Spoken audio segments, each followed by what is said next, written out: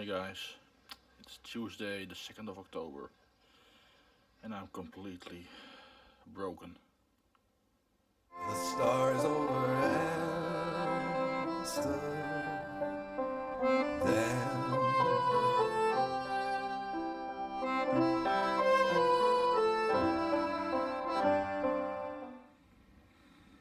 Five thirty.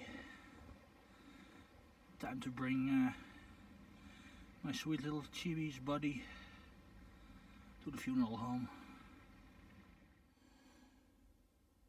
God, I'm missing her.